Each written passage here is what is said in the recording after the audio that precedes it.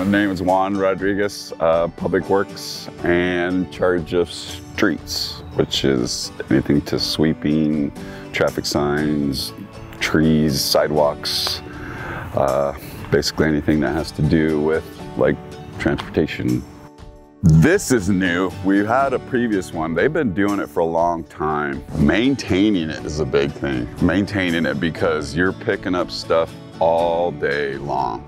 And that's the main thing is keeping it clean because if you're not keeping clean, hitting every single, you know, crack that there is, it just starts clogging up and you start having problems. And this is just the head. That's where the gutter or the broom spins and kicks everything up into the head.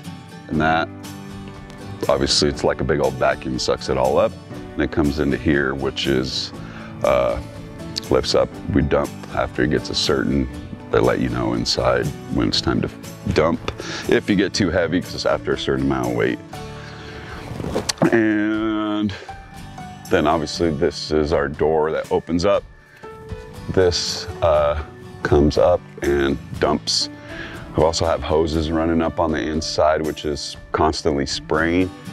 Because once you're picking up dirt, you're picking up leaves, everything just starts clogging up. So the water itself sprays on it, keeps it wet and loose and everything, so it just comes out.